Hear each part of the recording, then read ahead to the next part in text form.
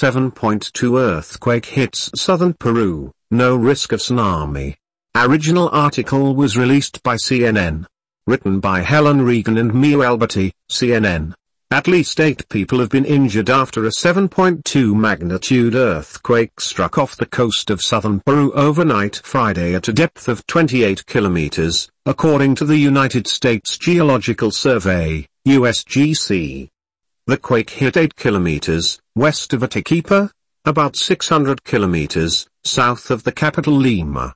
Some residents of Arequipa said on social media they felt a very strong and long quake that caused their beds to shake. CCTV footage from the nearby town of Caravelí shows a residential street as the tremor shakes violently and people come out of their houses. The quake was felt as far as the capital. Video posted to social media shows lumps swaying inside houses in Lima.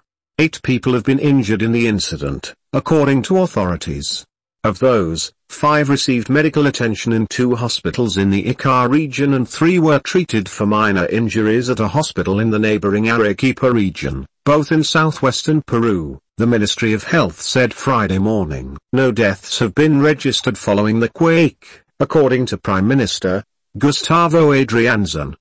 We are just finishing analyzing the preliminary reports which tell us that there are no deaths, and we are monitoring the impact on infrastructures. Adrianzén told Radio RPP, according to Andina, the Peruvian news agency.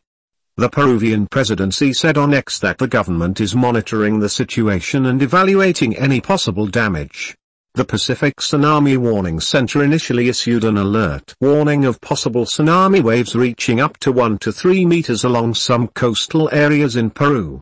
But it later dropped the alert, saying there was no tsunami warning, advisory or threat. There is no longer a tsunami threat from this earthquake, the PTWC said.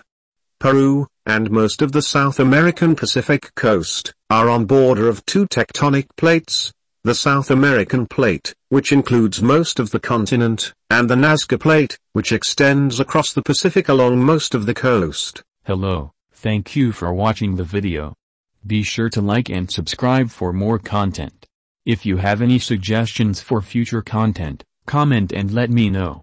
I know many people are uncomfortable with thy art, but I am saving to get the supplies to delve into other art styles. It will take time, but I hope to get into resin, woodworking and metalworking. All I ask is sub and enjoy my videos.